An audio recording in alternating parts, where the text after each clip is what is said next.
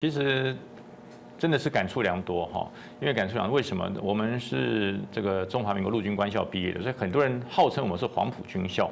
其实我要强调一点，我们强调的叫黄埔精神，我们不是黄埔军校，我们叫中华民国陆军军官学校。因为黄埔军校最早创的时候是属于中国国民党，在一九二六年，它叫做中国国民党。陆军军官学校，然后在广州黄埔，所以叫黄埔军校。后来两年后就迁了，就迁到南京去了。然后他也改名了，变成中华民国陆军军官学校。所以说，早在一九二八年的时候，就已经有军队国家化的概念了。那但是呢，因为整个草创之初，包含的是由这个这个俄罗斯，就是苏俄苏联来扶植、来协助我们成立了军我们的军备，然后也成立了这个黄埔军校。但是呢，在当时。中国并没有所谓的国共内战的问题，在黄埔军校成立之初，哈，没有国共内战的问题，它都是属于中华民国框架下的政党，一个是国民党，一个是共产党，所以当时黄埔军校里面有中国国民党的人呢，也有共产党的人啊，周恩来啊，政战部主任就是就是共产党的，但是所以在当时的时候没有国共的问题，因为都是为了中华民国而努力。那我是讲哈，这个框就，所以也造成了共产党认为想要统一中国，只要把国民党搞定就好。这是他们一直没有办法摆脱跟升华的一个历史一历史的一一个一个一个算是一个这个走不出的死胡同。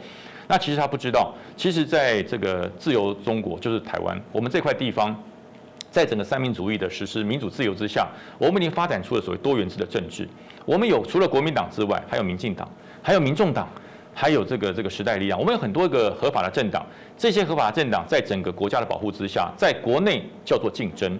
为了什么竞争呢？为了政策竞争，为了国家利益竞争，为了人民福祉而竞争，所以他们叫做竞争对手，不叫敌手。可是呢，国共因为在这个中国大陆那一战以后，他们已经不是叫做对手了，国共叫做敌人，叫做汉贼不两立。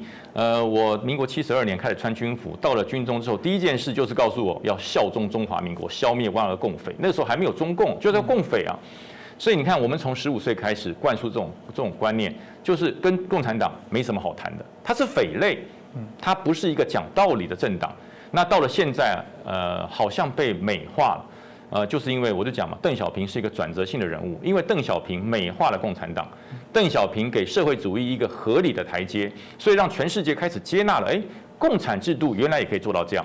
其实那是个假象，那是个假象。习近平只是暴露出了共产主义暴制专政的本质而已。共产党自始至终没有改变过。所以我刚刚在上一节我也讲过，这个邓小平让中国人富起来，不是让全民富起来，是让领导阶层，是让党政军富起来。在邓小平的这个主政之下，军人多有钱呐！一个解放军的将领，开玩笑，那在大陆是是是有钱人呐。一个解放军的党政高层都是有钱人，所以是谁富起来？是听从党的指挥的人富起来了，平民是没有富起来的。所以现在为什么这个习近平上来第一件事要脱贫嘛？因为他脱不了贫，所以要喊脱贫。富都是富哪些人？都是富那些官二代、正二代、军二代。所以习近平开始在打打这些人。那如果你真的打这些人，你要让整个中国的人民十四亿人变军富，我也佩服你。可是你做不到，你就开始用谎言假象来这个造成全世界认为中国站起来，他没有站起来。那台湾人最可怜的就是台湾的这一群曾经跟他是又是对手，现在变成敌人的国民党，却误信共产党改变了。他们认为共产党的暴力本质没有了，共产党现在是为了追求中华民族最大的一统，还有中华民国最大的光辉哦，中华民族他他不会说中华民国，为了追求中华民族最大的一统与光辉。中国共产党正在努力中，这是谬误到不能再谬误的问题。如果他们那么好，当年干嘛带我爸爸过来？我就生在山东，生在大陆啦。如果今天中国共产党这么棒，共产党这么讲理，共产党可以谈，那我干嘛带我过来？我不愿意啊！我是我是我的爹娘从大陆过来之后，在台湾生了我啊。如果当时没有共产党这么可恶、这么残暴，那我就在山山东出生了嘛。我为什么在台湾出生？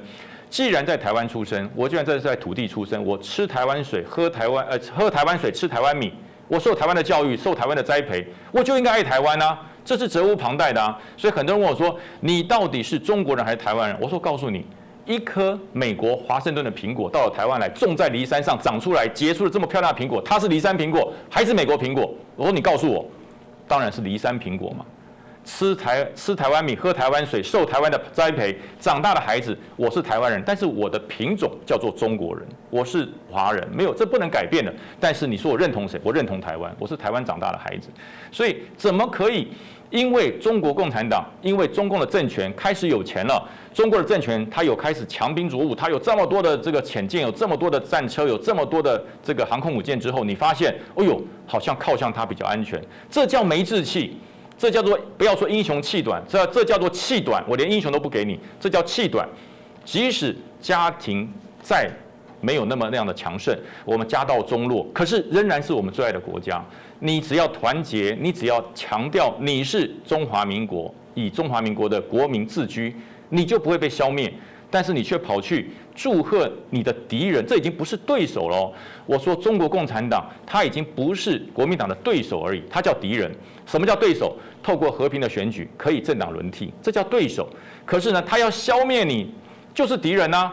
你说国民党跟民进党再怎么样竞争，再怎么样子在这个政治上面来较劲，民进党会把国民党整个拔除不见吗？消失不见？只有国民党可以消灭国民党，没有人可以消灭国民党。但是呢，共产党它是会消灭你的，它让你的信念瓦解，它让你的意志力瓦解，它让你的防御力瓦解，进而你的所有人到了中国以后就全部靠过去，中国国民党就不见了，国民党不见事小，中华民国不能不见。中华民国是我们生民立命唯一的地方，我们除了中华民国没有啦。你说我还有美国护照，还有马来西亚护照，还有全世界我没有，我就只有中华民国而已。所以我说，呃，我常常在我在那个七月一号的时候，我就发了一篇文章，告诉大家，我们从小你教我们反共复国，现在复国做不到了，反共要持续啊。那你告诉我我是叛徒，我不爱国，那我的祖国跟你的祖国如果不一样，那我们还谈什么？我的祖国叫中华民国，你的祖国，如果你认同了五千年创造了奇迹的中华人民共和国，那我们不能谈了，我们已经不是竞争的对手了，你跟我已经变成敌人了，所以我才说，面对这一些曾经我的长官，曾经一起在外岛、在海上、在山之巅、水之边一起抵抗中共暴政的这群我的长官，你现在脱掉了军服之后，你却告诉我，我做的是错的，那你当时就叫不要叫我反共，我当时进入军中，你就告诉我，共产党是朋友。共产党是是对手，不是敌人。那为什么我要跑到马祖前线去戍守？为什么在我女儿出生的时候，我不能在旁边陪伴？我要到第一线去跟共产党对峙？你把我的青春还给我，你把我的信念还给我。如果我的信念没错，错的是你，不是我，因为我们从来没有改变我们的信念，我们反共的决心，捍卫中华民国的决心，没有一丝一毫改变过。是我我好好奇问一下于将军，可是毕竟我们有谈到很多的退将，尤其之前一直谈说他们去参加中共的一些庆典，我觉得这不会对现役军人产生影响。但比较好奇，因为我相信您还有接触，这一定是大家很好奇的问题。我们现役的军人不会错乱吗？这就是哈，我说退役将领的社会责任跟所谓的国军责任。我虽然推下脱下军服了，但是我所带的我的袍泽、我的学弟、我的后期的这些学弟，他依然看着我。因为我们脱掉军服之后，我们的思想、我们的这个所谓的发言，已经不再受国防部的限制。只要你不泄密，你都可以说。但是你的你的言行，学弟、袍泽都在看。